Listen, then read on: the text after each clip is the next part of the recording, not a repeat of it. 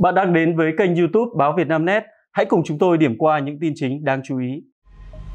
Thưa quý vị, Bộ Quốc phòng Nga tuyên bố lực lượng pháo binh của họ đã vô hiệu hóa một nhóm quân Ukraine đang tham gia chiến dịch xâm nhập tỉnh Kurt. Hãng tin TASS dẫn thông báo từ Bộ Quốc phòng Nga viết,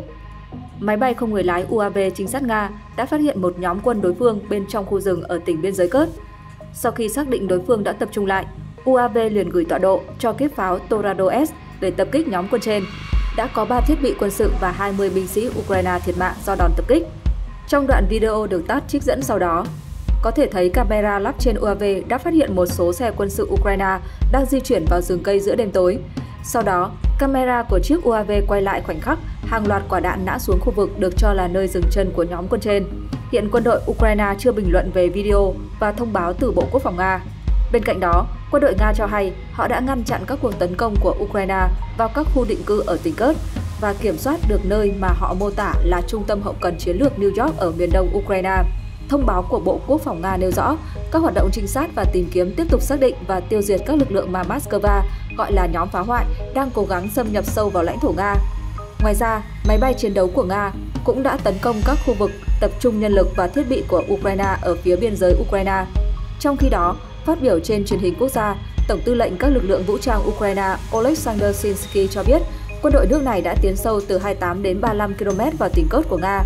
Mặc dù vậy, Tổng thống Volodymyr Zelensky cũng đã thừa nhận tình thế khó khăn trên tiền tuyến phía đông của Ukraine, gần trung tâm hậu cần chiến lược Pokrod và cũng gần khu vực Torres. Trong bối cảnh cuộc tấn công bất ngờ xuyên biên giới của Ukraine và vùng Kursk của Nga đã kéo dài 2 tuần, Bộ Quốc phòng Nga tuyên bố sẽ thành lập 3 cánh quân mới ở các tỉnh Belgorod, Kursk và Bryansk để bảo vệ các khu định cư dọc biên giới giáp Ukraine. Tờ Kiev Independent đưa tin, ngày 20 tháng 8, Bộ trưởng Quốc phòng Nga Andrei Belosov, Chủ tịch Hội đồng Điều phối An ninh quân sự ở các tỉnh Belgorod, Bryansk và Kursk cho biết đã phân công các quan chức chịu trách nhiệm cho những nhiệm vụ cụ thể khi thành lập ba cánh quân. Bộ trưởng Quốc phòng Nga nói thêm, nếu họ không thể giải quyết kịp thời vấn đề ở cấp của họ, thông tin sẽ được chuyển đến tôi và tôi sẽ quyết định. Trong khi đó, tướng Yunus Bebjevkurov được bổ nhiệm làm Phó Chủ tịch Hội đồng điều phối. Các quan chức khác của Bộ Quốc phòng Nga sẽ quản lý hậu cần, hỗ trợ kỹ thuật quân sự, sơ tán người dân, kỹ thuật, phối hợp liên ngành, hỗ trợ y tế và bảo vệ khỏi các cuộc tấn công bằng máy bay không người lái UAV.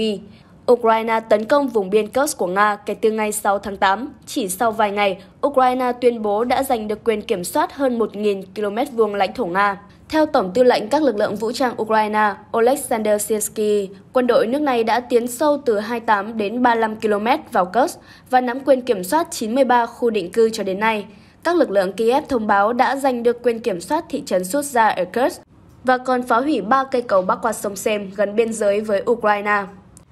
Theo các chuyên gia quân sự, việc Ukraine phá hủy các cây cầu ở Kursk có thể cản trở tuyến hậu cần của Nga, cắt đứt nguồn cung quân sự cho lực lượng Nga đồn trú ở phía nam sông Sem và giúp Ukraine củng cố quyền kiểm soát trong khu vực. Ngày 19 tháng 8, Tổng thống Ukraine Volodymyr Zelensky cho rằng cuộc đột kích vào vùng Kursk có thể tránh được hoàn toàn nếu như các đồng minh phương Tây cung cấp cho Kiev tên lửa Storm Shadow của Anh để tấn công lãnh thổ Nga. Ngày 20 tháng 8, Tổng tư lệnh các lực lượng vũ trang Ukraine, tướng Oleksandr Syrskyi cho hay, quân đội nước này đã tiến sâu 28 đến 35 km vào tỉnh Kursk của Liên bang Nga, trong khi Moscow đang điều động một số quân từ các hướng khác để tăng cường ở các vị trí Kursk. Phát biểu trong một cuộc họp báo được phát sóng trên truyền hình quốc gia, tướng Syrskyi thông báo Moscow cũng đang gửi thêm quân đến khu vực Poprov ở phía đông Ukraine, nơi đã chứng kiến cuộc giao tranh dữ dội nhất kể từ khi Liên bang Nga triển khai chiến dịch quân sự đặc biệt ở Ukraine vào tháng 2 năm 2022. Cũng trong ngày 20 tháng 8, Hội đồng phối hợp về an ninh của các lãnh thổ biên giới Liên bang Nga đã nhóm họp. Phát biểu tại cuộc họp, Bộ trưởng Quốc phòng Liên bang Nga, ông Andrei Belosov cho biết đã bổ nhiệm Trung tướng Jonas Bekyevkurov, người hiện đang có mặt ở tỉnh Kursk, làm Phó Chủ tịch Hội đồng phối hợp về an ninh của các lãnh thổ biên giới Liên bang Nga. Theo Bộ trưởng Quốc phòng Liên bang Nga, nước này đã thành lập ba nhóm quân sự mới để tăng cường an ninh tại các khu vực giáp biên giới với Ukraine và các nhóm này được đặt tên theo các khu vực Kursk, Belgorod và Bryansk. Ông Belosov nhấn mạnh, các đại diện của Bộ Tổng tham mưu và các chỉ huy của các nhóm quân sự Belgorod, Kursk và Bryansk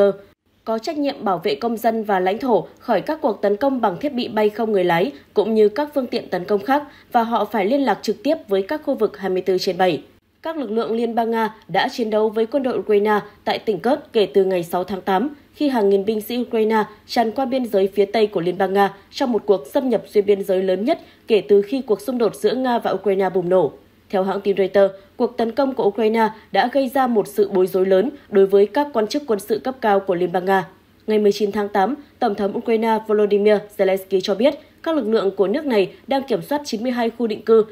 trên một khu vực diện tích rộng hơn 1.250 km vuông ở tỉnh Kurt. Về phía Liên bang Nga, theo đài Sputnik, chỉ huy lực lượng đặc biệt Akhmat của Liên bang Nga, ông Abdi Alaudinov ngày 20 tháng 8 tuyên bố nỗ lực tiến quân của lực lượng Ukraine đã bị chặn lại trên toàn bộ khu vực Kurt. Với các nguồn lực chính của họ bị phá hủy và quân đội Liên bang Nga đang nỗ lực đẩy lùi lực lượng Ukraine khỏi các khu định cư. Ông Alaudinov nói trong một cuộc phỏng vấn với đài truyền hình Nga Russia TV vào ngày 20 tháng 8 rằng họ không đạt được gì kể từ khi các đơn vị của chúng tôi tiến vào. Những ngày đầu, chúng tôi bận rộn ngăn chặn quân chủ lực của đối phương và chúng tôi đã thành công. Đối phương đã bị chặn đứng hoàn toàn, dọc theo toàn bộ chu vi. Theo viên chỉ huy lực lượng đặc biệt Akhmat, việc tiêu diệt các nguồn lực chính của lực lượng Ukraine, bao gồm cả các đơn vị tiền phương của họ, đã gây thiệt hại rất nặng nề cho kẻ thù. Họ mất rất nhiều thiết bị, xe tăng, xe bọc thép và rất nhiều bộ binh. Tuy nhiên, các tuyên bố của cả phía Ukraine lẫn phía Liên bang Nga về tình hình chiến sự ở tỉnh Kurt nhất là các bước tiến cũng như thiệt hại của mỗi bên là rất khó để có thể xác minh độc lập. Trong cuộc phỏng vấn với đài truyền hình Nga ngày 20 tháng 8, chỉ huy lực lượng đặc nhiệm Akhmat Abdi Alarinov cho biết, việc phá hủy các nguồn lực chính của quân Ukraine, bao gồm cả các đội hình tiền phương, đã gây tổn thất vô cùng nặng nề cho đối phương, khiến họ mất rất nhiều trang thiết bị, xe tăng, xe bọc thép và lính bộ binh. Hãng tin Sputnik dẫn lời ông Alarinov lưu ý, lực lượng đặc nhiệm Akhmat đang dọn sạch một số khu vực đông dân cư ở Kurt từng lọt vào tay quân Ukraine và hiện không còn phải lo lắng đối phương có thể đi qua khu vực mình đang đóng quân. Vị chỉ huy này nói đã có các lính tư nhân nước ngoài tham gia vào chiến dịch đột kích Kurt của Ukraine, bao gồm cả những quân nhân từ các nước NATO. Ông Alaudinov tin chiến dịch Kurt là âm mưu do Mỹ, Anh và các cường quốc NATO khác gian xếp nhằm đánh lạc hướng Nga và khiến nước này dừng tiến quân qua các khu vực Ukraine. Trước đó cùng ngày, trong cuộc phỏng vấn với một phóng viên Trung Quốc, ông Alaudinov bày tỏ hy vọng cuộc xung đột giữa Nga và Ukraine sẽ kết thúc trong vòng từ 2 đến 3 tháng tới. Cuối ngày 19 tháng 8, ông Alaudinov thông báo đã nhận được một lượng lớn bằng chứng bằng hình ảnh chụp các dân thường Nga bị tấn công thẳng vào đầu và sau đầu. Ông gửi lời chia buồn tới gia đình các nạn nhân, đồng thời cam kết sẽ trả thù cho họ. Phát biểu trong một họp báo được phát sóng trên truyền hình quốc gia, Tổng tư lệnh các lực lượng vũ trang Ukraine cho hay quân đội của họ đã tiến sâu 28 đến 35 km vào khu vực Kurt của Nga. Ngày 20 tháng 8, Tổng tư lệnh các lực lượng vũ trang Ukraine Oleksandr Sisky cho hay quân đội của họ đã tiến sâu 28 đến 35 km vào khu vực Kurt của Nga, trong khi Moscow đang điều động một số quân từ các hướng khác để tăng cường các vị trí ở Kursk. Phát biểu trong một cuộc họp báo được phát sóng trên truyền hình quốc gia, ông Oleksandr Sinsky thông báo Nga cũng đang gửi thêm quân đến khu vực Pokrovsk ở phía đông Ukraine, nơi chứng kiến cuộc giao tranh dữ dội nhất trong chiến dịch quân sự đặc biệt của Nga ở Ukraine kể từ tháng 2 năm 2022. Trong khi đó, tướng Abdi Alodinov, chỉ huy quân đội phản ứng nhanh Akhmat thuộc lực lượng vệ binh quốc gia Nga, dự báo chiến sự tại Kurt sẽ kết thúc trong vòng 2 đến 3 tháng tới với chiến thắng thuộc về Nga. Trong cuộc trao đổi với phóng viên chiến trường Trung Quốc Lưu Vũ Quang, tướng Alodinov khẳng định quân đội Ukraine sẽ thất bại tại Kurt. Ông cũng cho rằng chiến dịch quân sự đặc biệt của Nga có thể kết thúc trong cùng thời gian đó. Tướng Alodinov được xem là ứng cử viên kế nhiệm người đứng đầu Cộng hòa Chechnya Ramzan Kadyrov trước đó từng tuyên bố cuộc xung đột sẽ kết thúc trong năm nay với chiến thắng hoàn toàn thuộc về Nga.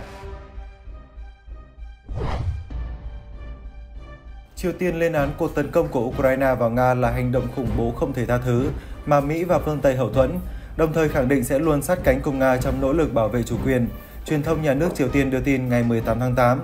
Theo bản tin của hãng thông tấn KCNA, hành động của Ukraine khi tấn công Nga là sản phẩm của chính sách chống Nga do Mỹ tạo ra, đẩy tình hình đến bờ vực thế chiến thứ ba. Bài viết cho rằng Mỹ đã trao cho Tổng thống Ukraine Volodymyr Zelensky một lượng vũ khí sát thương khủng khiếp. KCNA dẫn tuyên bố của Bộ Ngoại giao Triều Tiên cho biết, chúng tôi lên án mạnh mẽ cuộc tấn công vũ trang vào lãnh thổ của Nga mà chế độ Kiev thực hiện dưới sự kiểm soát và hậu thuẫn của Mỹ và phương Tây. Đây là hành động xâm lược và khủng bố không thể tha thứ. Triều Tiên tăng cường đáng kể mối quan hệ ngoại giao với Nga trong năm qua với hai cuộc gặp thượng đỉnh của lãnh đạo hai nước, cam kết hợp tác chặt chẽ hơn trong mọi lĩnh vực. Vào tháng 6, Chủ tịch Triều Tiên Kim Jong-un và Tổng thống Nga Vladimir Putin ký hiệp ước xác nhập quan hệ đối tác chiến lược toàn diện, bao gồm điều khoản về phòng thủ chung. Hàn Quốc, Ukraine và Mỹ cáo buộc Triều Tiên cung cấp pháo và tên lửa cho Nga để sử dụng trong chiến trường Ukraine, nhưng Bình Nhưỡng và Moscow phủ nhận. Phát ngôn viên phong trào Hamas Osama Hadam hôm 19 tháng 8 tuyên bố rằng Mỹ đang cầu rời cho chính quyền Israel tiếp tục chiến dịch quân sự ở giải Gaza. Ông nói, Mỹ chỉ đang câu giờ cho Israel tiếp tục chiến dịch quân sự ở giải Gaza. Phía Tel Aviv từng bác bỏ nhiều điều khoản trong đề xuất được Tổng thống Mỹ Joe Biden đưa ra vài tháng trước. Đề xuất đã được Hamas nhất trí. Ông Hadam nói với hãng thông tấn Al Jazeera, Tuyên bố trên của phát ngôn viên Hamas được đưa ra trong bối cảnh Ngoại trưởng Mỹ Antony Blinken trước đó cùng ngày đã có chuyến công du tới Israel. Sau các cuộc gặp với lãnh đạo Tel Aviv, ông Blinken tuyên bố Thủ tướng Israel Benjamin Netanyahu đảm bảo sẽ ủng hộ đề xuất của Washington nhằm thu hẹp những khác biệt trong một lệnh ngừng bắn ở giải Gaza. Lực lượng phòng vệ Israel IDF đã tiến hành một số vụ không kích nhằm vào thung lũng Bekaa ở Liban, nơi nhóm Hezbollah đặt một số cơ sở quan trọng Nguồn tin an ninh Liban trả lời phỏng vấn trang AI Arabia nói rằng nhiều kho đạn Hezbollah nằm ở khu vực Tamnin Antata, Al-Safri và Saraain thuộc thung lũng Bekaa đã phải hứng chịu ba cuộc không kích của IDF trong đêm 19 tháng 8. Al Arabia sau đó đã lên mạng xã hội X chia sẻ hình ảnh một đám cháy lớn xảy ra gần thành phố Baalbek của Liban. Có thể thấy một số quả cầu lửa từ đám cháy trên bay ra những khu vực xung quanh, trong khi tiếng động cơ máy bay có thể nghe thấy rõ. IDF trong một thông cáo đã đưa ra sau đó xác nhận các tiêm kích của họ đã không kích một số kho đạn nằm sâu bên trong thung lũng Beka. Sau các đòn không kích, nhiều vụ nổ thứ cấp đã xảy ra chứng tỏ sự hiện diện của nhiều loại vũ khí đặt bên trong những nhà kho bị tấn công. Nội dung vừa rồi cũng đã kết thúc bản tin của báo Việt Nam Net. Xin kính chào tạm biệt và hẹn gặp lại.